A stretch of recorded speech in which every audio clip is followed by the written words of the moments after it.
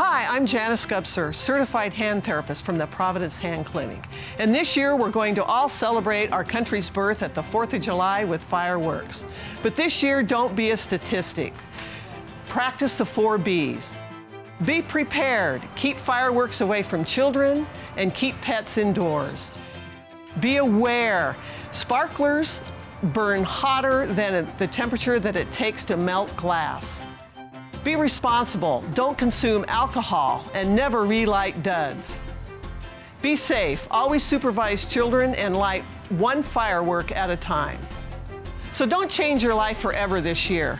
Remember the four B's. A fun fourth is a safe fourth.